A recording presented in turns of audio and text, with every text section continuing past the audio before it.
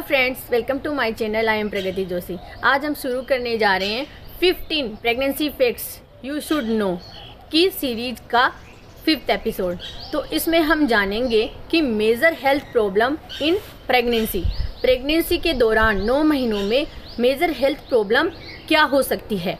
ठीक है दोस्तों? तो यह मैं एपिसोड शुरू करूँ, यह वीडियो शुरू करूँ इससे पहले एनसी के फ़र्स्ट एपिसोड में जो क्वेश्चन पुटअप किया था, उसका आंसर लगभग सभी ने सही ही दिया था। परंतु उनमें से जो लकी विनर है, उनका नाम है पिंकी सबल वे अपना गिफ्ट जो उस वीडियो का डिस्क्रिप्शन बॉक्स है, वहाँ पे जो व्हाट्सअप नंबर दिए गए हैं, उन पर कांटेक्ट करके अपना गिफ्ट कलेक्ट कर सकते हैं।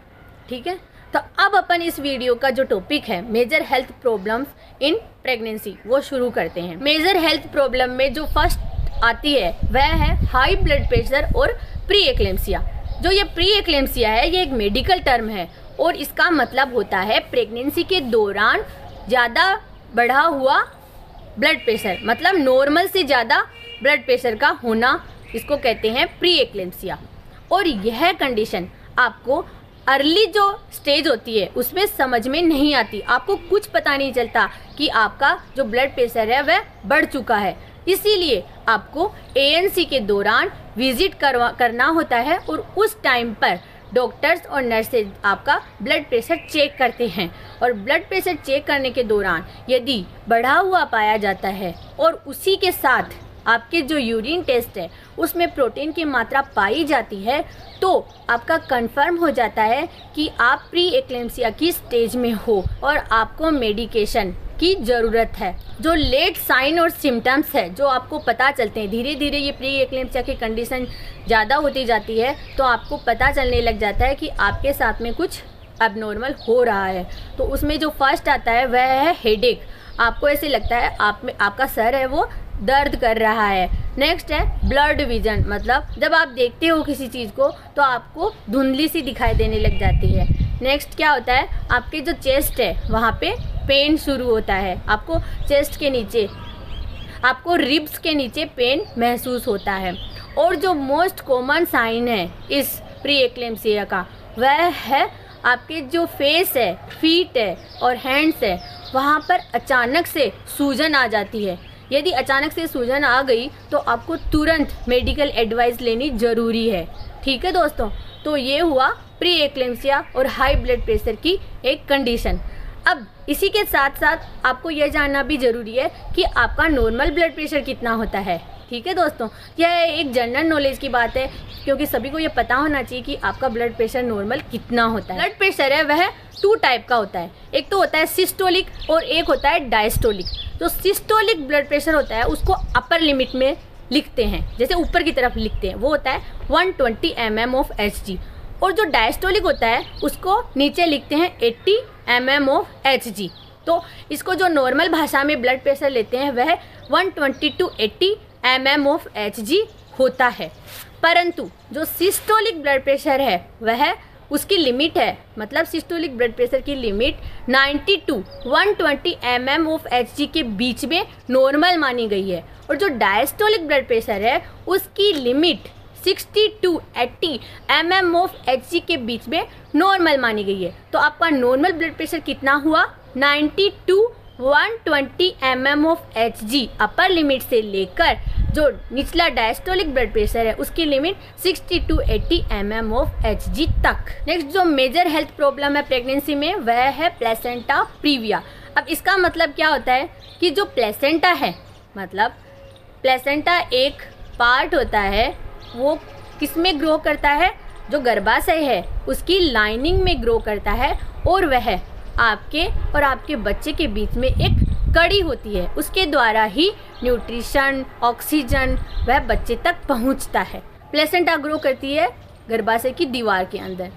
और यह प्लेसेंटा साधारणतः तो गर्भाशय के जो ऊपर का पार्ट है, वहाँ पर अटैच होती है।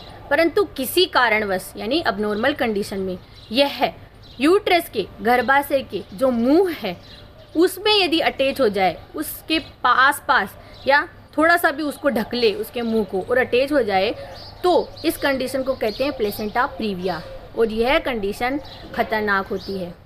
यह कंडीशन आपको कब पता चलती है? जब आप एएनसी के दौरान विज़िट में जाते हो और सोनोग्राफी करवाते हो। साढ़े चार से पाँचवें महीने की सोनोग्राफी के दौरान डॉक्टर्स को पता चल जाता है कि प्लेसेंटा की पोजीशन यूट्रस में क्या है।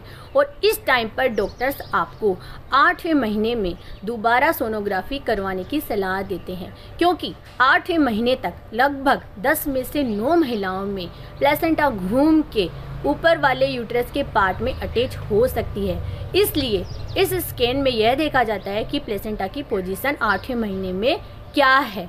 और यदि यह पोजीशन आठवें महीने में भी जो गर्भाशय है, उसके मुँह के पास ही रहती है और उसको कवर की हुई रहती है तो आपको सीजेरियन डिलीवरी की सलाह दी जाती है।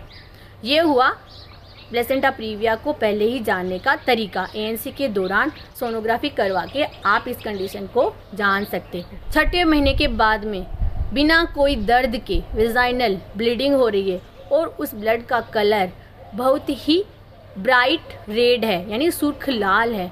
और या तो वह थोड़ी हो या ज़्यादा हो, इससे कोई मतलब नहीं है, पर ब्लीडिंग हो रही है तो आपको तुरंत डॉक्टर के पास जाके सलाह लेनी है। और यह ब्लीडिंग कॉन्ट्रेक्शन के साथ होती है मतलब आपको, आपके पीठ के पीछे थोड़ा प्रेशर महसूस होता है और आपको टाइटनेस सी महसूस होती है। ठीक है दोस्तों? तो आपने जान लिया एक कंडीशन प्लेसेंटा प्रीविया क्या होती है और आपको कैसे इस कंडीशन से बचना है। एक तो हुआ सोनोग्राफी करवा के एएनसी के दौरान और एक हुआ इसके लक्षणों को जान के। ठीक है दोस्तों? थर्ड जो मेजर हेल्थ प्रॉब्लम आती है प्रेगनेंसी के दौरान, वह है वेजाइनल ब्लीडिंग यदि नौ महीनों के दौरान कभी भी वेजाइना से ब्लीडिंग हो रही है तो आपको तुरंत डॉक्टर के पास जाकर सलाह लेनी है। ठीक है दोस्तों? नेक्स्ट जो फोर्थ नंबर पर मेजर हेल्थ प्रॉब्लम आती है, वह है ऑब्स्टेट्रिक कोलेस्टासिस साधारणतया इसके सिम्टम कैसे आपको मालूम चलते हैं? कि आपके जो पैर और हाथ है, वहाँ पे तेज खुजली होती है और आपका जो स्किन का कलर है और जो आँखों के वाइटनेस का कलर है, वह येल्लो शुरू होने लग जाता है और इस कंडीशन में आपको तुरंत डॉक्टर की सलाह लेनी है। फिफ्थ जो major health problem in pregnancy है, वह है डीप वेन थ्रोम्बोसिस अब ये एक मेडिकल टर्म है। इसको आप साधारण भाषा में कैसे समझ सकते हो? कि आपकी जो लेग्स है, यानी पैर है, उसकी जो ब्लड वेसल्स है, वहाँ पर ब्लड का एक थक्का जम जाता है। और वह ज़्यादातर आमतौर पर जो प्रेगनेंसीज है, उनमें नहीं होता।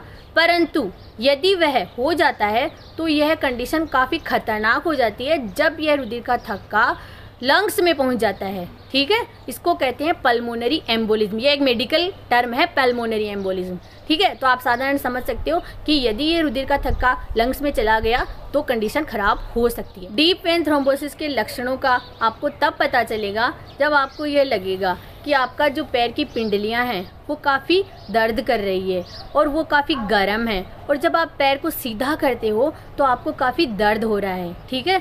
तो आपको ज़रूर डॉक्टर की सलाह लेनी है।